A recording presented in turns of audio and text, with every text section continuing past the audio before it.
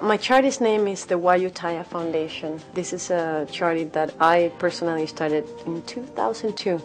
And the mission of the foundation is to help the Latin American indigenous people.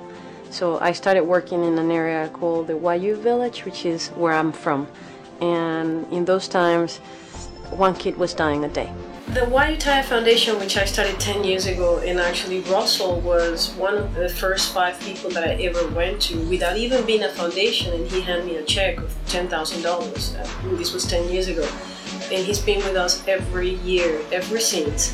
Um, we've done, you know, we started in, in an area where one kid was dying a day in the border between Venezuela and Colombia. And today, when I decided to put a little school for 30 kids, because then they would get two meals a day Today, these statistics are not like that anymore. We have almost 2,000 children in three different schools. I have a self-sustaining women's center for 300 women.